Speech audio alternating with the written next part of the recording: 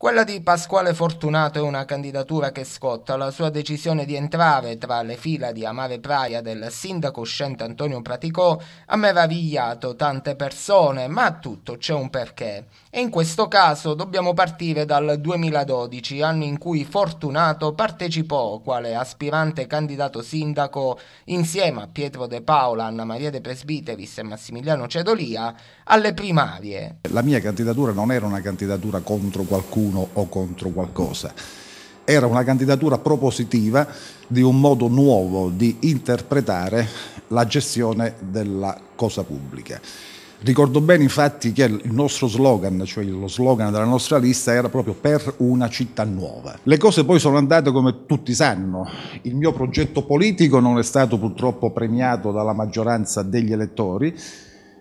In quella potrei definire surreale competizione elettorale definita primarie e quindi mi sono semplicemente eclissato dalla vita politica locale direi anche obbligatoriamente perché nella vita spesso non tutti lo sanno ma bisogna saper vincere ma bisogna anche saper perdere. Eclissato non vuol dire però non interessarsi alla vita politica del paese, Fortunato ha comunque continuato a dialogare con i cittadini, ha sempre mantenuto buoni rapporti con l'amministrazione e soprattutto ha valutato positivamente l'operato dell'esecutivo Pratico ed eccoci quindi al 2017. Quando quindi mi è stata offerta questa possibilità di partecipare, di offrire anche un mio, mio piccolo contributo diciamo, per far continuare questa spirale di buon governo già intrapreso, sono stato un po' in dubbio, devo ammettere, mi sono consultato con la mia famiglia, eh, con mia moglie e con i miei due figli, ai quali inevitabilmente sottrarrò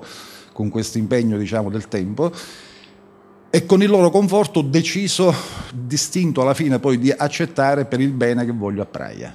I progetti di Fortunato sono tanti, qualora venisse eletto punterebbe sulla creazione di un distretto turistico, ma soprattutto guarderebbe con particolare attenzione alla sanità. Da medico in servizio presso il CAPT di Praia Mare conosce bene le condizioni in cui versa la struttura, i tempi di attesa biblici per accedere a una visita, le carenze. Le idee ci sono, ma la battaglia deve essere fatta prima di tutto dal punto di vista vista politico. Posso pensare alla, all'attivazione di una carta dei servizi, per esempio, no? in convenzione l'ente locale con l'ASP, cioè con l'azienda sanitaria provinciale, magari che possa fa favorire gli abitanti del posto per avere un percorso più rapido in termini di eh, esecuzione di alcune prestazioni di carattere ambulatoriale.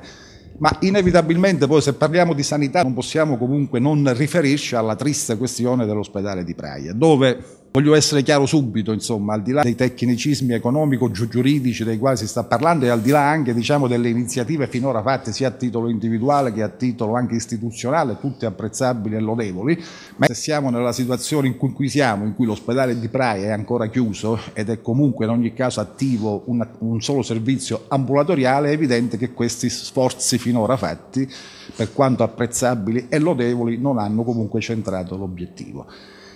E io allora dico subito in questa sede, e lo dirò in ogni sede, che le responsabilità che io attribuisco alla politica sono pesanti parlo di politica con la P maiuscola. Non dimentichiamo che la riclassificazione dell'ospedale di Praia da ospedale in Casa della Salute, in CAPT prima e oggi Casa della Salute, è figlia di un atto politico amministrativo, cioè una delibera dell'allora commissario ad acta che ha riclassificato l'ospedale, l'allora ospedale di, Praia, da ospedale in, casa, in, in CAPT, in centro di assistenza primaria. Bene, il passaggio inverso cioè, ovvero sia la riclassificazione da casa della salute a ospedale, dovrebbe essere praticamente figlia di uno stesso atto politico amministrativo, cioè una delibera dell'attuale commissario ad acta che riclassifichi di nuovo questa struttura in ospedale. Quindi è la politica che non deve assolutamente abdicare al suo ruolo che sia il Paese e le leggi comunque gli assegnano, perché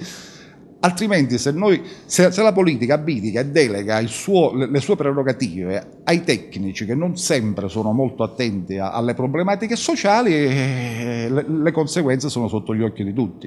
Quindi, insisto, la politica deve riappropriarsi dei suoi spazi.